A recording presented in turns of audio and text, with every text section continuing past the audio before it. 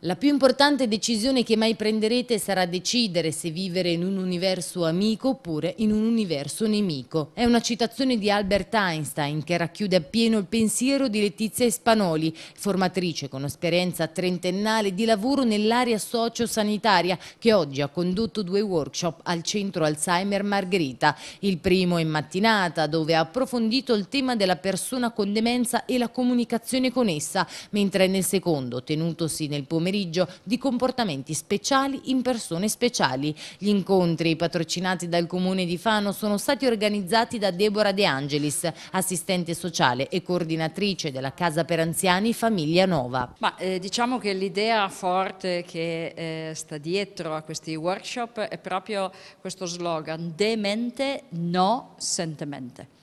Eh, troppo spesso quando noi parliamo della malattia della demenza o dell'Alzheimer eh, pensiamo a tutto quello che queste persone non sono più.